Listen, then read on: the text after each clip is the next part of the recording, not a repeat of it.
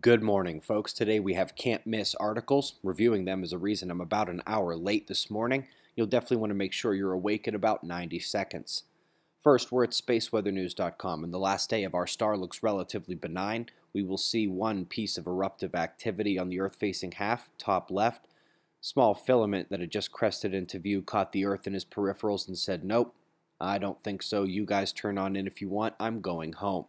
Forgot his magnet shoes, however, and never really got out of the corona.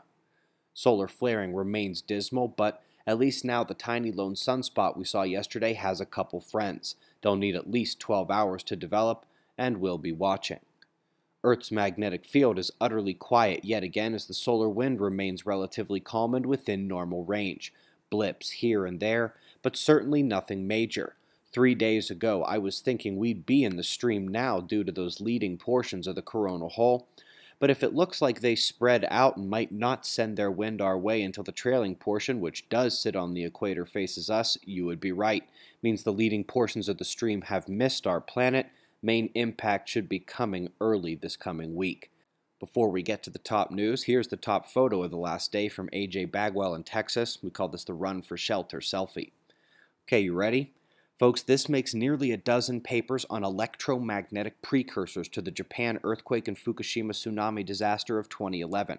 Double that number have been written about various large earthquakes across the world in general, with everything from the magnetic fields, electric currents, ionospheric anomalies getting involved, and yes, folks, who knows why Ben got excited to see the word thermal there in the title? Yes, that means outgoing long wave radiation, this is the fourth paper claiming OLR should be investigated as a quake precursor, and that is in fact exactly what we use. If you haven't seen the September 10th update at the top of spaceweathernews.com/challenge, it is time to pay attention especially since the mainstream is utterly focused on satellites and space-based observations. This is a pretty good paper about the use of CubeSats to find these anomalies, but why do that when we've got GPS devices, magnetometers, and EMF hardware built into almost every cell phone on the planet?